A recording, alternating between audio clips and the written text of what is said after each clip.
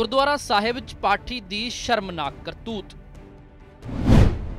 ਗ੍ਰੰਥੀ ਨੇ ਆਪਣੀ ਪਤਨੀ ਦੀ ਲਈ ਪਿਆਰ ਦੀ ਪ੍ਰੀਖਿਆ।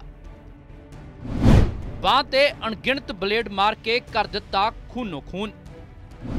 ਕਿਹਾ, ਜੇ ਬਲੇਡ ਮਾਰਨ ਤੇ ਚੀਕੀ ਤਾਂ ਤੂੰ ਮੈਨੂੰ ਨਹੀਂ ਕਰਦੀ ਪਿਆਰ। ਪਿਆਰ ਸਾਬਤ ਕਰਨ ਲਈ ਪਤਨੀ ਨੇ ਦਰਦ ਕੀਤਾ ਸਹਿਣ। ਬਲੇਡ ਮਾਰਨ ਤੇ ਵੀ ਨਹੀਂ ਚੀਕੀ ਗ੍ਰੰਥੀ ਦੀ ਪਤਨੀ। ਦਰਦ ਸਹਿੰਦੇ ਸਹਿੰਦੇ ਹੋ ਗਈ ਬੇਹੋਸ਼। ਹਸਪਤਾਲ 'ਚ ਕਰਵਾਇਆ ਗਿਆ ਦਾਖਲ।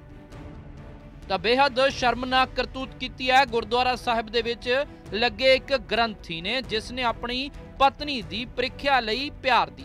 ਅਤੇ ਉਸਨੇ ਕਿਹਾ ਕਿ ਮੈਂ ਤੇਰੀ ਪ੍ਰੀਖਿਆ ਲੈਣਾ ਚਾਹੁੰਦਾ ਕਿ ਤੂੰ ਮੈਨੂੰ ਪਿਆਰ ਕਰਦੀ ਵੀ ਹੈ ਜਾਂ ਨਹੀਂ, ਜਿਸ ਤੇ ਉਸਨੇ ਇੱਕ ਬਲੇਡ ਲਿਆ ਅਤੇ ਉਸਨੇ ਆਪਣੀ ਪਤਨੀ ਦੇ ਬਾਹ ਤੇ ਮਾਰਨਾ ਸ਼ੁਰੂ ਕਰ ਦਿੱਤਾ। ਪਤਨੀ ਸਹਿਣ ਕਰਦੀ ਰਹੀ ਆਪਣਾ ਪਿਆਰ ਸਾਬਤ ਕਰਨ ਲਈ ਨਹੀਂ ਚੀਕੀ। ਤਾਂ ਗ੍ਰੰਥੀ ਨੇ ਕਿਹਾ ਸੀ ਕਿ ਜੇ ਤੂੰ ਚੀਕੀ, ਤਾਂ ਤੂੰ ਉਸ ਨੂੰ ਸੱਚਾ ਪਿਆਰ ਨਹੀਂ ਕਰਦੀ। ਜਿਸ ਤੋਂ ਬਾਅਦ ਅਣਗਿਣਤ ਵਾਰ ਉਸ ਨੇ ਪਤਨੀ ਦੀ ਬਾਹ ਤੇ ਬਲੇਡ ਮਾਰਿਆ। ਪਤਨੀ ਦਰਦ ਸਹਿੰਦਿਆਂ ਸਹਿੰਦਿਆਂ ਬੇਹੋਸ਼ ਹੋ ਗਈ, ਖੂਨੋ ਖੂਨ ਹੋ ਗਈ, ਜਿਸ ਤੋਂ ਬਾਅਦ ਉਸ ਨੇ ਆਪਣੇ ਪਿਤਾ ਨੂੰ ਫੋਨ ਕੀਤਾ।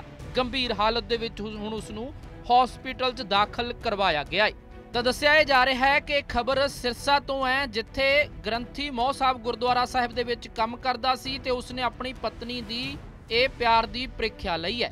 ਤਾਂ ਦੱਸਿਆ ਇਹ ਜਾ ਰਿਹਾ ਹੈ ਕਿ 21 ਸਾਲ ਦੀ ਮਾਨਸਾ ਦੀ ਰਹਿਣ ਵਾਲੀ ਲੜਕੀ ਦਾ ਸਿਰਸਾ ਜ਼ਿਲ੍ਹੇ ਦੇ ਅਲੀਕਾ ਦੇ ਜਗਤਾਰ ਸਿੰਘ ਨਾਲ ਵਿਆਹ ਹੋਇਆ ਸੀ ਅਤੇ ਉਸ ਦਾ ਪਤੀ ਮੋਹ ਸਾਹਿਬ ਗੁਰਦੁਆਰਾ ਸਾਹਿਬ ਦੇ ਵਿੱਚ ਪਾਠੀ ਵਜੋਂ ਕੰਮ ਕਰਦਾ ਏ ਤੇ ਜਦੋਂ ਉਹ ਗੁਰਦੁਆਰਾ ਸਾਹਿਬ ਦੇ ਵਿੱਚ ਉਸ ਨੂੰ ਮਿਲਣ ਆਈ, ਤਾਂ ਇਸ ਦੌਰਾਨ ਉਸ ਦੇ ਪਤੀ ਨੇ ਉਸ ਨੂੰ ਕਿਹਾ ਕਿ ਉਹ ਉਸ ਨੂੰ ਕਿੰਨਾ ਪਿਆਰ ਕਰਦੀ ਹੈ, ਜਿਸ ਤੇ ਉਸ ਦੀ ਪਤਨੀ ਨੇ ਜਵਾਬ ਦਿੱਤਾ ਕਿ ਬੇਹੱਦ ਜ਼ਿਆਦਾ।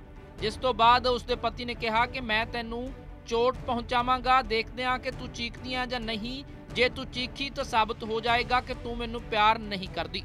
ਜਿਸ ਤੋਂ ਬਾਅਦ ਪਤੀ ਜਗਤਾਰ ਸਿੰਘ ਨੇ ਆਪਣੇ ਹੱਥ 'ਚ ਬਲੇਡ ਲੈ ਲਿਆ ਅਤੇ ਆਪਣੀ ਪਤਨੀ ਦੀ ਬਾਹ ਤੇ ਵਾਰ ਕਰਨ ਲੱਗਾ।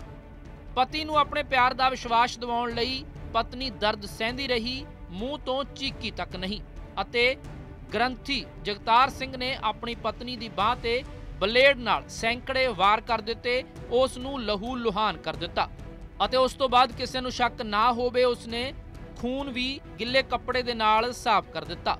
ਦੂਜੇ ਪਾਸੇ ਉਸ ਦੀ ਪਤਨੀ ਬੇਹੋਸ਼ ਹੋ ਗਈ, ਜਿਸ ਨੇ ਆਪਣੇ ਪਿਤਾ ਨੂੰ ਫੋਨ ਕੀਤਾ ਜਿਸ ਤੋਂ ਬਾਅਦ ਉਸ ਦਾ ਪਿਤਾ ਆਇਆ ਤੇ ਉਸ ਨੂੰ ਹਸਪੀਟਲ ਦੇ ਵਿੱਚ ਭਰਤੀ ਕਰਵਾਇਆ ਗਿਆ ਹੈ।